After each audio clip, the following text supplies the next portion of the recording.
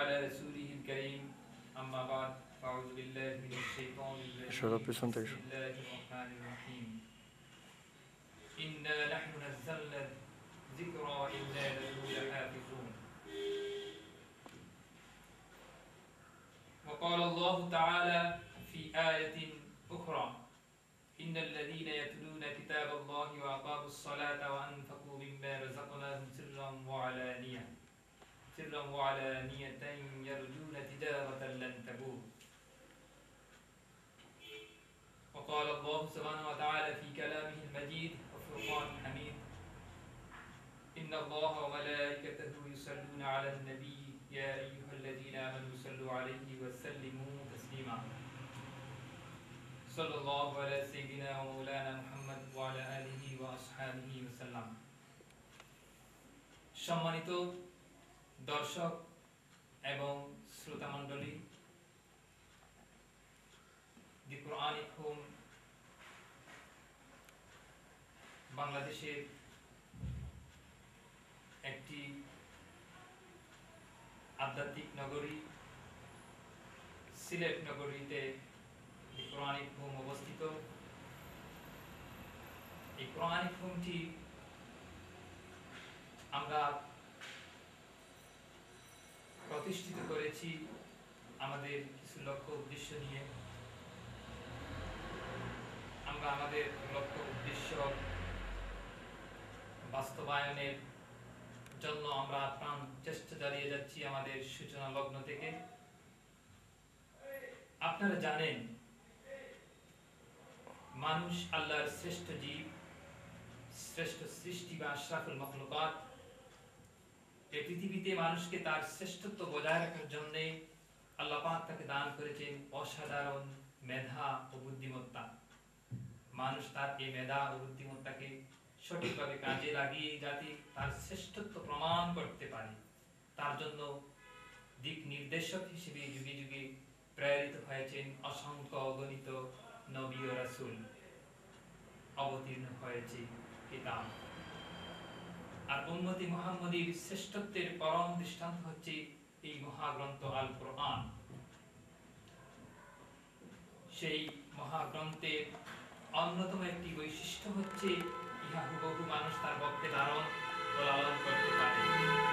আর যারা সেই কোরআন কারিমকে সম্পূর্ণরূপে কণ্ঠস্থ করে, তারাই হচ্ছে জীবন্ত কোরআন বা কোরআনের হাফিজ বা হাফিজে কোরআন।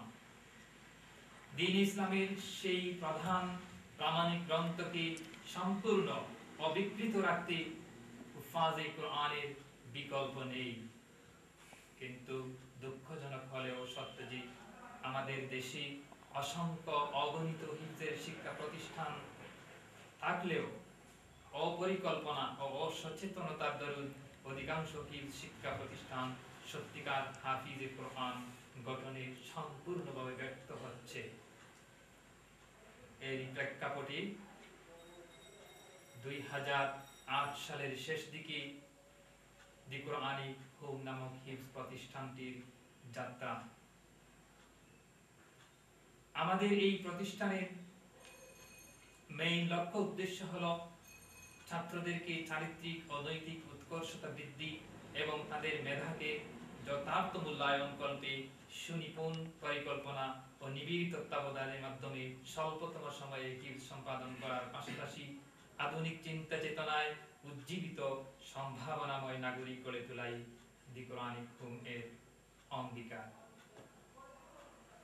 আমাদের যে লক্ষ্য উদ্দেশ্য, সে লক্ষ্য উদ্দেশ্য হলো আহলে সুন্নাত জামাতের আদর্শ ভিত্তিক নৈতিকতা, সততা ও যোগ্যতা সম্পন্ন সুনাগরিক তৈরি করা। যেহেতু শিক্ষা প্রতিষ্ঠান হলো মানুষ গড়ার কারখানা, এই মানুষ গড়ার কারখানায় আমরা আমাদের অবিষ্ট লক্ষ্যে পৌঁছার জন্য আমরা যথাসাধ্য চেষ্টা চালিয়ে যাচ্ছি ইনশাল্লাহ এবং ভবিষ্যতে মানুষ গড়ার জন্য আমাদের যতটুকু করার ততটুকু ততটুকু আমরা করে যাব ইনশাল্লাহ আমাদের এই শিক্ষা প্রতিষ্ঠানটি সিলেট শহরের অভিজাত নিরিবিলি পরিবেশ ও কোলাহলমুক্ত এলাকা, শাহজালাল উপশহরের বি ব্লকের চোদ্দ নম্বর দূরস্থ আঠাশ নম্বর বাড়িতে অবস্থিত। সঙ্গত কারণেই আমাদের সিলেট বিভাগের এই সিলেট নগরীতে শাহজালাল উপশহর হচ্ছে একটি অভিজাত এলাকা। এই অভিজাত এলাকায় জাতি সুন্দর একটি মনোরম পরিবেশে ছাত্রদেরকে উপযুক্ত শিক্ষা শিক্ষার ব্যবস্থা প্রদান করা যায়, সেই লক্ষ্যে আমরা, আমাদের এই শিক্ষা প্রতিষ্ঠানকে আমরা উপশহরে প্রতিষ্ঠিত করেছি।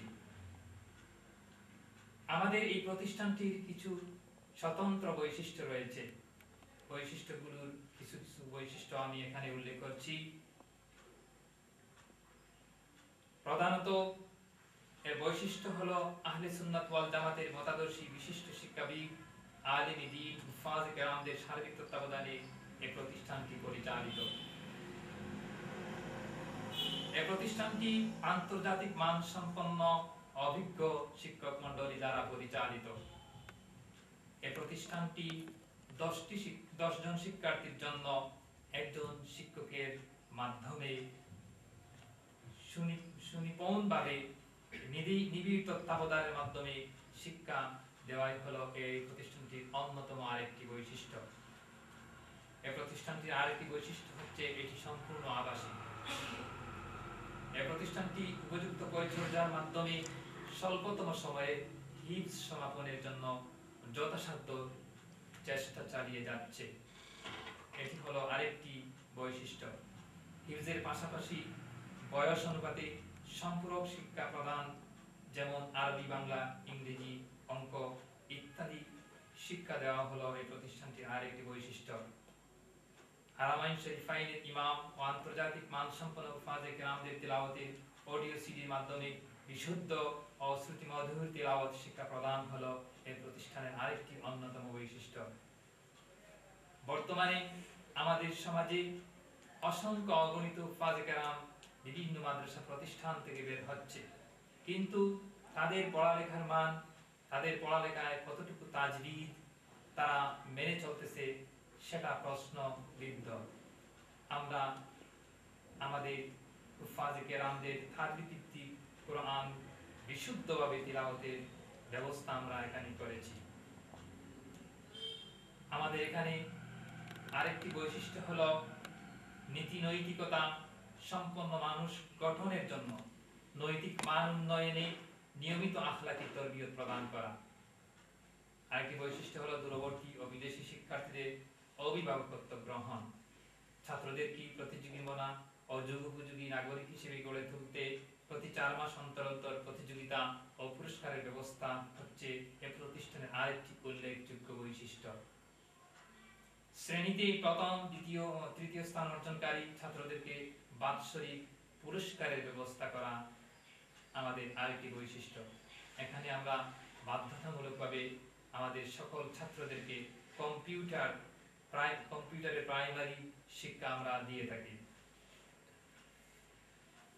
আমরা আমাদের স্বাতন্ত্র্য বজায় রাখতে সূচনা লগ্ন থেকে আন্তরিকভাবে চেষ্টা চালিয়ে যাচ্ছি।